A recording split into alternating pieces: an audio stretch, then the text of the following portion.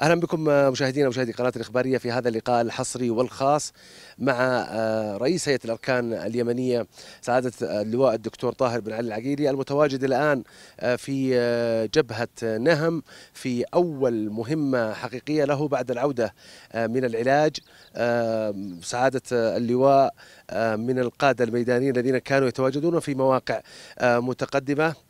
وممن حظي ب يعني شرف الإصابة في هذه المعارك معارك الشرف والعزة والإباء في اليمن. ها هو اليوم يعود وفي عودته إلى اليمن مباشرة إلى جبهة نهم للاطلاع على ماذا يدور هنا. شكرا سعادة اللواء على كون هذا أول لقاء حصري لكم بعد العودة إلى اليمن عبر شاشة قناة الإخبارية. الحمد لله على سلامتك. كيف رأيت الرجال رجال نسميهم برجال البأس الشديد في اليمن؟ بعد عودتكم إلى جبهة من أهم الجباه في اليمن جبهة نهم.